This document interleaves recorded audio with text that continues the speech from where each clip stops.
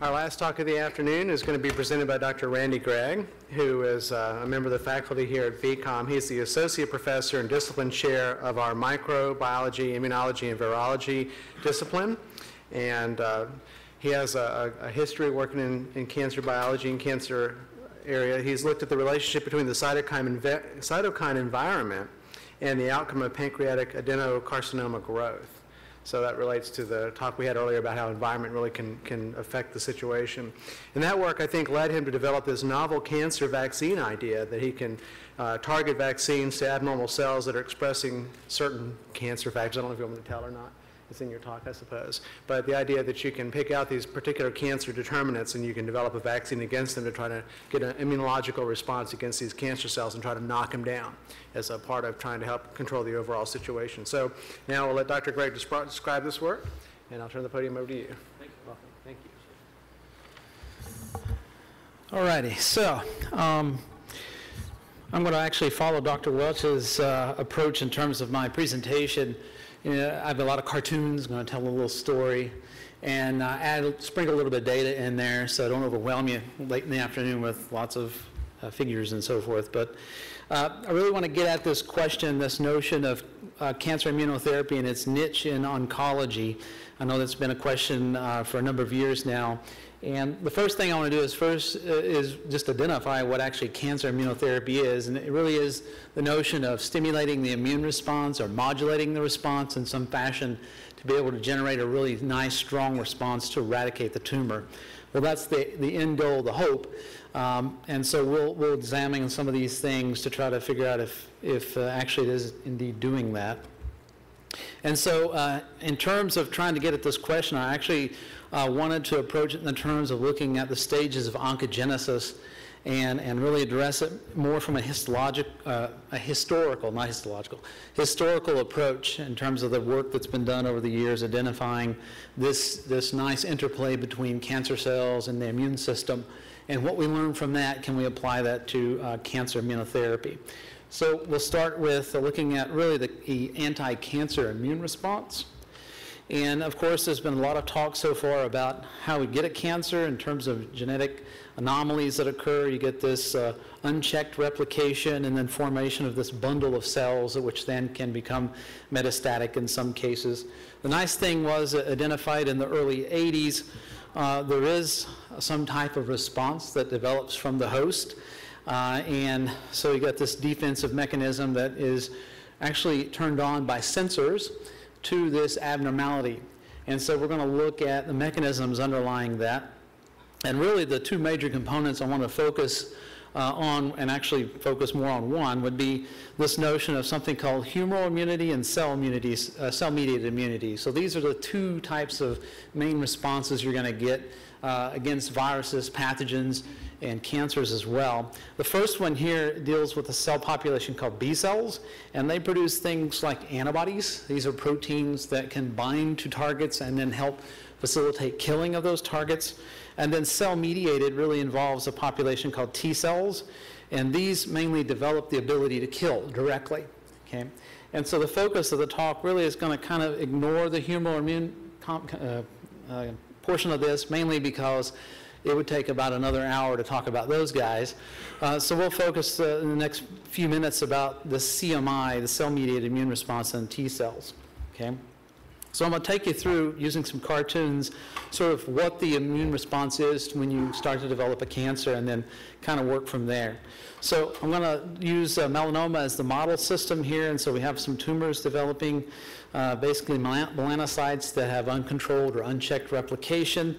You can see here's the skin, we got the outer layer, we got uh, the epidermis, and then the deeper tissue, which is the dermis, and then some blood vessels that are running through the skin. And you can see there's a number of cells that you normally encounter there. There's something called a dendritic cell. There's something called macrophages, and in the blood there's these things called monocytes and neutrophils and natural killer cells. So there's a lot of different types of cells around, and we're going to talk about each one and how they, they contribute. And so the first thing that happens is there's a sensing that there's something wrong. And so epithelial cells, which are really all in this tissue, as well as macrophages can sense the danger, can sense there's a problem, and they'll start producing compounds called chemokines and cytokines The chemokines are kind of like breadcrumbs. Uh, essentially, they're pheromones, those types of attractants that bring cells to the source. And then cytokines are more modulating type things. They stimulate some things, they turn things off, they sort of modulate the overall response. So these two things have one function, and that's really to signal, hey, there's a, there's a problem here. So it's a red alert issue. And the red alert really relates to looking at the cell surface of these individually endothelial cells. So this is a blood vessel, and so it's got these endothelial cells that wrap around it.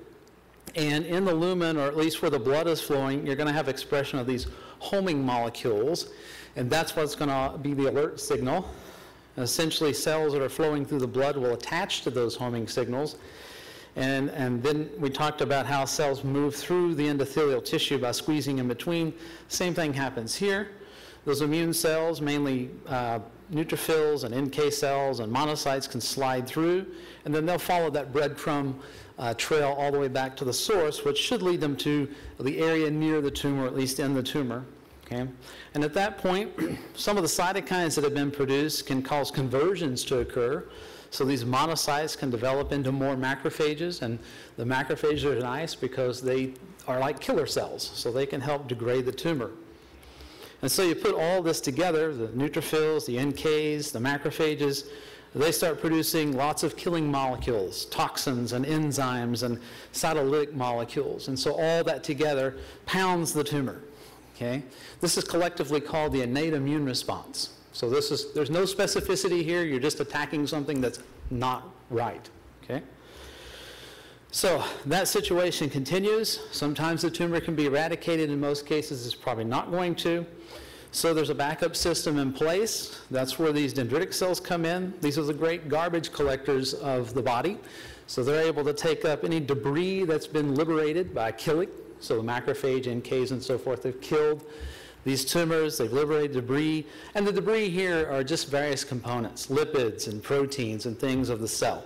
So the DCs pick that up, and then they're going to take that on back to the lymph nodes. Okay, and so this lymphatic vessel is simply uh, throughout your body you have these lymphatics which drain the tissues. So the blood circulates through, squeezes a little plasma into the tissue.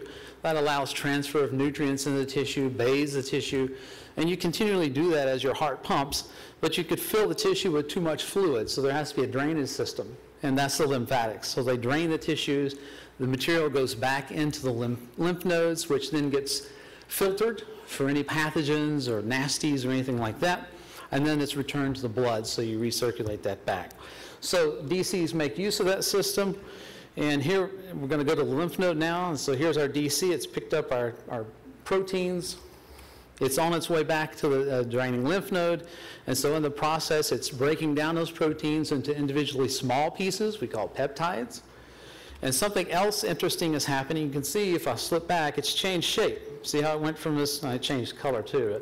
You see how it's changed from this sort of round guy and now this, all these uh, extensions out there. This is called maturation.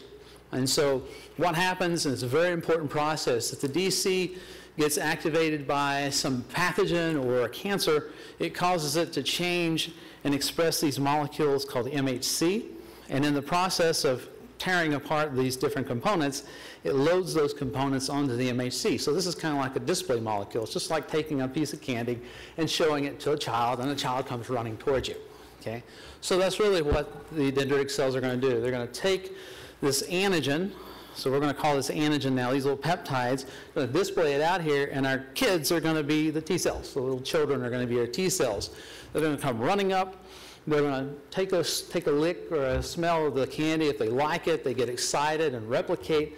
If they don't, then they simply ignore it, and the dendritic cell goes to the next T cell. Once it finds the T cell that recognizes that antigen, you're going to have an explosion of replication. So you're going to create this uh, clone uh, number of cells, in essence, a clone army. And this clone army, as you see, they have little guns here. So they're going to have weapons. So stormtroopers are no good unless they have a laser gun, right? So they're equipped with what they need, but they're not going to do any good here in the lymph node. So they need to find a way back to the tumor site. And so one of the other nice things about activation is they acquire those same molecules to bind to those homing features we found in the endothelia. So that's going to allow them to go back through the blood, attach to this, this, uh, this site that has these homing molecules, slide into the tissue, and then they can start using their weaponry to kill the uh, tumor. So if it's successful, then you have spontaneous regression. Tumor goes away. You've killed it. Great job. However, in most cases, tumor stays. Okay? And so it's a great riddle trying to understand how this tumor escapes such a sophisticated and specific system uh, that allows it to control the growth. So how does it work? So to start looking at and trying to answer this question and get back to our cancer immunotherapy and how we can use this information to help in treatments, we have to focus in on these anti-tumor T cells. What's happening here? And so the focus really is going to be looking at how it senses the antigen. And through a number of different studies, it was found if you looked at this T cell receptor, this is the thing that actually sees the antigen. I picture it's like some, like myself, who's nearsighted. I can see there's people there, but I could not make out who it is, right? Blind as a bat. So the same thing with the T cells, these anti-tumor T cells, they're nearsighted. They can see the antigen, but they don't respond very well to it. So what in essence happens, you don't get a nice robust T cell response, you get a moderate response. And, what, and so that's going to lead us to our next stage of oncogenesis in terms of looking at this cancer growth and immune response equilibrium in the sense that cancer is going to win here, mainly due to the fact you get very few T cells. They can kill, but it's slow killing, and you end up with a population of fairly resistant cells, whatever we identify that resistance to be, whether it's genetic or it's some other mechanism. And then those cells are able to replicate beyond the capacity of the T cells to control them. And now you have what's called tumor escape, and the tumor wins. Okay? So, the first goal of cancer immunotherapy, based on what we've learned, we need to generate a really good T cell response. It needs to be better than what you can normally do. And so, one of the first approaches well, actually, so this would be the idea. It's going to have enough T cells to be able to eradicate the tumor, or at least beat it down to the point to where you're going to increase the patient's survival. So that's sort of the notion behind it. One of the first approaches to trying to uh, fulfill this first goal was simply taking T cells, uh, multiplying those T cells, and then transferring them into patients. This is some work I did while I was at UVA back when people were starting to do this. Uh, and there's still tinkering around with this notion. Here we have a, a, mouse system. I'll show some human data here in a second. So I have a, a melanoma cell line um, derived from a C57 Black 6 mouse. You inject it just under the skin. It's a transplantable model. You wait about seven or eight days when the tumor starts forming. Uh, and then I inject the T cells. And so these T cells are, are uh, devised against the tumor so they can recognize tumor antigens. And then we support that injection with some sort of growth factor. And here I used IL-2. So that's interleukin 2. It's a cytokine. It helps the T cells survive, grow, expand, do the thing they need. And then I follow up with a few more injections of IL-2 and then use this little machine to, to measure the sizes of the tumors. Okay, and so here's what the data would look like for something like that. Uh, first of all, the T cells that I used are a specific brand or flavor, if you will. They're called CD8. That's your killer cells, as uh, mentioned a few moments ago. The CD8 T cells, that just means it has a protein on its surface called CD8, and that's how you identify them. But they have the ability to kill tumors directly. Okay, so once they're activated, they can go recognize a tumor and lyse it. So this is what we transferred into the animals. And if we go to the figure, what is showing here is something called tumor outgrowth. That means once you've reached the point of tumor outgrowth, the tumor has gotten so large that it's fairly lethal or it's life-threatening to the animal, and we simply sacrifice them to be, you know, uh, humane about it. So there's a certain point in which we allow them to grow. So once they've reached outgrowth, essentially they're sacrificed and the animal is considered to, to have not, not survived the, the cancer. And so you can see when no T cells transfer, the, the groups, the control groups here, even with cytokine, simply uh, have tumor outgrowth and the survival is zero there. But when we added T cells, pretty substantial delay in the outgrowth of the tumors. And again, at each point here, we're talking about percentages of animals, and we have an N of 10 in each group. So those percentages per uh, grouping. And even at the end of the clinical observation in the group that had the cytokine along with the T cells, we had 20%, or at least two of the 10 animals that didn't have outgrown tumors. Either they had stable disease where the tumor is not growing, or they simply were, the tumor was getting uh, larger very slowly over time. Okay? So it definitely has an impact. Now, how does this relate to, the, to, to a human system? So I pulled this study out from our most recent study using a CD8 T cell transfer, very similar to what we did with the animals. Patient has a, a tumor, pull out the CD8s, culture them with some cytokine, the IL-2 is what they use, and then transfer them back in. Again, the idea here is to make a large bolus, a large number of these T cells, and transfer them in. This is the protocol they followed. Essentially, they're going to transfer the T cells in at four different points and then follow that with cytokines. So I hope that kind of makes sense. And boy, there's a lot of data here. Essentially, it's a, a group of 10 individuals they used in this study. Uh, this is the number of T cell infusions, so there's a couple of variations there, but in essence, they did four infusions with three followed in cytokine.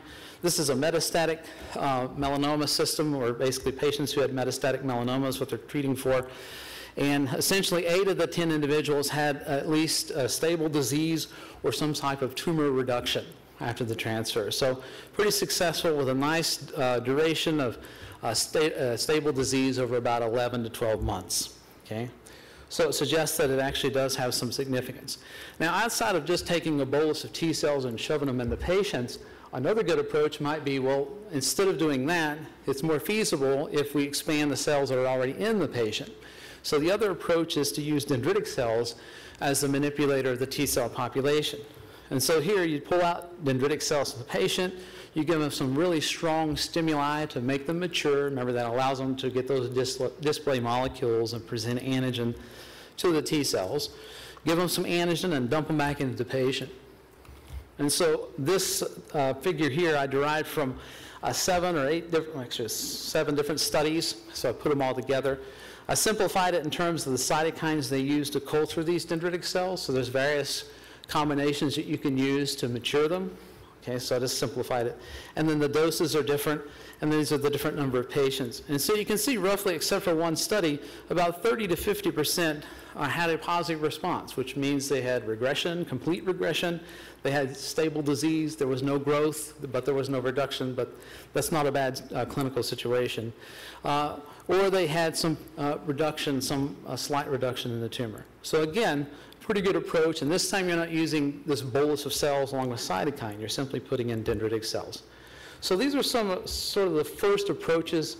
Since then, there have been a number of other approaches, just simply using cytokines and dumping those into patients. There's some toxicity issues uh, related with that, uh, liver things, fevers, rashes. You can stimulate the dendritic cells directly by using things called adjuvants. These are just compounds that facilitate maturation. Again, some of those might have some toxicity. And then blocking agents. So you can actually add things in that block the tumor effects uh, on the dendritic cells. So again, it would take another 30 minutes to talk about these different areas. But uh, put it all together, these approaches all together still fail to eradicate the tumor. So we're left asking the question, what is the issue here? Why is it that this first goal, if we meet it, it's still not sufficient to eradicate the tumor. That leads us to our fourth stage of oncogenesis, which looks now at these cells that, reside, that remain after the first wave of the immune response. So what's happening? So if you take a close look at these persistent cancer cells, you find that they're actually producing inhibitory type proteins or cytokines. They're producing things that shut down the immune response. And not only that, they're promoting and recruiting cells that can do the same thing. So you have a protein being produced that does it, and now you're recruiting cells that can also support uh, inhibition of the immune response against the tumor. So again, facilitates tumor escape. And this is actually one of the things that tumor immunologists now are recognizing as probably the main driving force behind the fact you can't eradicate the tumor with cancer immunotherapy. And from a number of studies, uh, some of it coming out of Moffitt actually, you found two populations of regulatory cells that seem to be recruited by tumors explicitly. This population called T regulatory and myeloid-derived suppressor cells. Okay? Now they have their own identifying markers on the surface. Again, these are just proteins that you can identify them. They produce mainly these two types of cytokines. That's uh, transforming growth factor beta or TGF beta and IL-10. Both of those have the ability to suppress T cell killing, natural killer cell killing. They prevent maturation of DCs. They can promote macrophages to help build blood vessels so the tumor can grow. And they also eliminate uh, nutrients that would help the T cells to survive in the tumor tissue or even in the spleen and lymph node. And these things actually spread away from the tumor site. You find them in and around the tumor, but they can also infiltrate the spleen and the lymph nodes and shut down the immune response at the source. So they're a real problem. Okay? So this is what we envision in terms of what's happening uh, at the tumor site as well as at the site where you're going to be activating T cells, which would really be the lymph nodes. You're going to have this environment that's rich in these cytokines. The GM-CSF here, you don't need to know the name, but essentially this is going to be the uh, expansion factor for your MDSCs. Okay, so that's not going to help. VEGF is going to promote the angiogenesis or the blood vessel formation, and then we talked about the role of these two. So if you took a snapshot, you would see lots of tumor, lots of regulatory cells, lots of immature DCs. They've got antigen, but they can't do anything with it. Uh, and these macrophages producing IL-10 and promoting blood vessel formation. So it's not a really nice, formidable environment or nice environment that's going to uh, support T cell functions against tumor. So again, the second goal now of cancer immunotherapy would be counteract the activity of these nasty regulatory cells. And so, uh, again, some of the work at Moffitt and other places have identified agents that can function to reduce the numbers of these cells both of them or one or the other, inhibit their functions, and most importantly, this seems to be the one that kind of comes out uh, with most robust activity is prevent the generation of these, mainly through blocking TGF-beta functions as well as uh, inducing IL-12, which we saw a while ago. IL-12 seemed to be facilitating good responses in brain tumors. Uh, also going to apply here. So that's our second goal, okay? The, the issue with these agents is, well, while they target these uh, regulatory cells, they also target other cells, and that leaves the patient somewhat immunodeficient or with the inability to respond to things like pathogens. So you're kind of right back where you started. You might be treating the cancer, but now you, you get sick and die of some viral infection. Okay, so that's not a good approach. So now people are starting to put together these two goals and trying to find mechanisms to make this happen instead of taking one or the other. They're really focusing on both. And so the one I'm going to present now is the work that I've done. And so we created a molecule called an Ig chimera. Ig means immunoglobulin. Another common name for it is antibody. Okay? So this is what an antibody looks like. And we changed this antibody structure by replacing a portion of it with a peptide. And here we're going to use a tumor peptide. Okay? Now I'm going to explain why you'd use this in just a minute. Here's the uh, structure, the one we're going to use in the study I'm going to briefly comment on. I used a protein called ovalbumin. 323 or 339 represents the peptide that I've inserted. So there's a peptide insert here. So this, when this antibody is made, it's going to have a small peptide inserted in this region, and that's going to be used to trigger the activation of a population of cells called CD4 T cells. Okay, so we talked about CD8. The difference is CD4 is the identifying protein on the cell surface, and it has different functions. It's called a helper cell, and that's exactly what it does. It helps everybody. You can kind of think of this guy as the general for the immune response. It kind of organizes the response, tells this guy to do this, this guy to do this, and helps this guy to do that. Okay? So what it does is it promotes killing by T cells, CD8 T cells, helps antibodies to be made by B cells. Again, it's slightly different from what we're using it for here.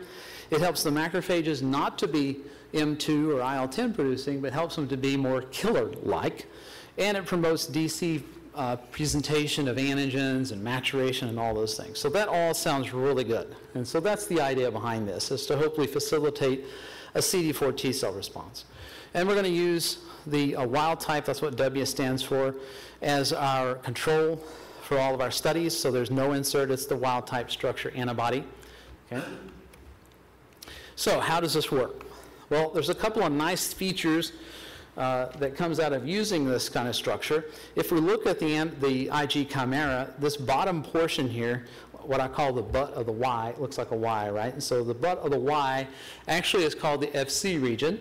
And this FC region is bound by something called FC receptors, which you find highly expressed on dendritic cells. That's really nice. Once the Ig chimera binds the FC receptor, it does two things. First of all, it induces cell signaling that turns the yellow guy into the red guy. So now you have a mature APC. and It does it very well. Okay? So now you have MHC molecules, you have the long extensions, and you have the ability to process antigen and present it very effectively.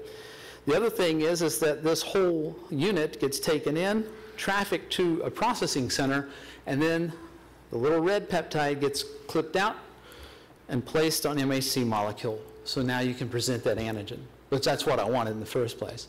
This is so effective that if you compare this to protein or peptide alone, it's about a thousand times more effective, more efficient.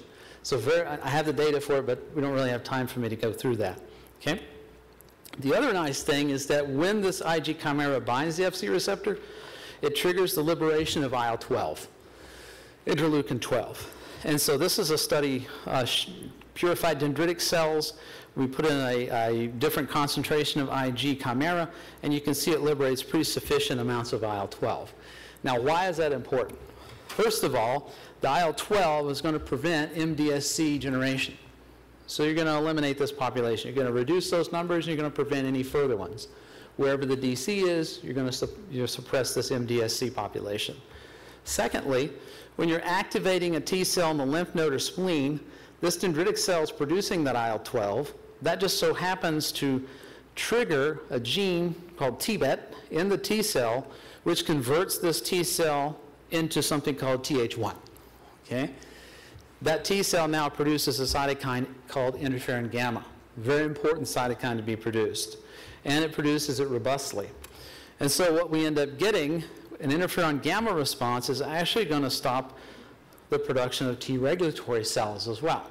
So now we have a dual mode action. We're able to suppress this guy as well as the Tregs by one molecule. Okay? So, did we get interferon gamma T cells being made? Here I took splenocytes, put them into a, a culture, added in dendritic cells and the Ig chimera, and you can see I got a really nice interferon gamma producing population of T cells. And we know it was T cells because the only thing we added was dendritic cells and our chimera. Couldn't have been anything else. Okay, so IL-12 induced the interferon gamma producing T cells. So this is what we hope to devise now once we put this system into the animal. Instead of having a suppressive environment, we want it dominated by 12 and interferon gamma. So you get this nice interferon gamma Th1 number of T cells in here. The macrophages become IL-12 producers and killers of tumor.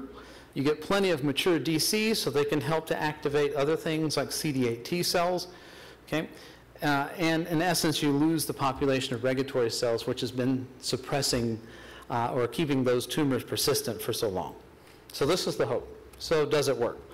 So now we take it to the mouse model. So here we have a tumor that's expressing the ovapeptides injected into the animal, wait for the tumor to form. So I had to palpate a nice tumor. And then I gave the animals, in this particular study, only one injection of the Ig chimera, and then assessed tumor growth over a number of days. Here's the data. And so here, instead of doing tumor outgrowth, because I had what seems to be cure, I did tumor-free mice. So you can see all groups, uh, all tumor-free, and then eventually tumor, it's palpated, they all become uh, loaded with tumor. Only the group that received the IgOVA returned back to being tumor-free, or they had complete regression of the tumor. Followed this out to about 70 days, uh, and they were still clear of tumor. Okay? So the question is now, did I actually get a Th1 response and did we reduce that immunosuppressive environment? So did a couple of things here. Took the animals from the study, roughly day 21 to 29.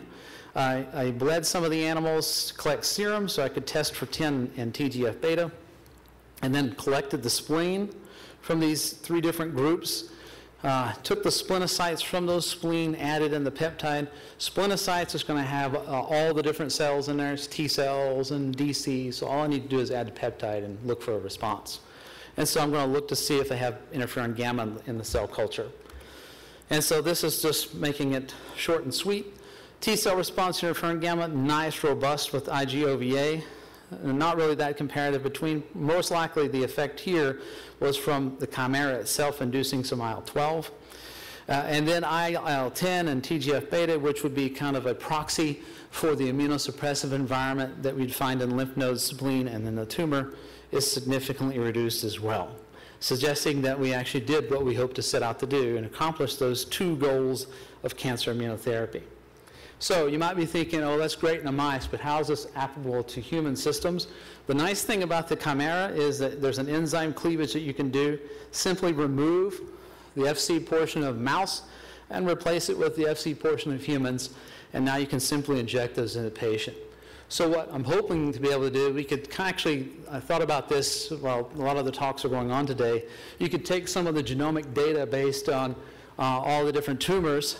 You could make a series, these antibodies take about a month to make. You could make a whole panel of these, and then based on what patient's genomic data comes back with in terms of the antigens that's being expressed or those that's mutant that being overexpressed, then you could simply use those and inject those in the patient uh, in a similar fashion for hopefully achievement of cancer immunotherapy. Okay? So I think uh, what we've done in the last few minutes is, is kind of talk about some of the advances that have been made, both in humans and, and certainly in preclinical studies. And I believe the answer is, you know, tumor immunology, I think, has come uh, a long way in the sense that um, we now understand a little bit better uh, in terms of the pathogenesis and this interplay between cancer cells and the immune system. And that's helped us really devise therapies like this that's incorporated all that information that might lead us to some uh, better successes in terms of pr- promoting better quality of life as well as survival, maybe even uh, complete regression of tumors. And uh, that's what I have. So these are the guys that helped me. I did a lot of this work while I was at UVA. I did some uh, at my previous institution and then carried it on here at VCOM. So that's it.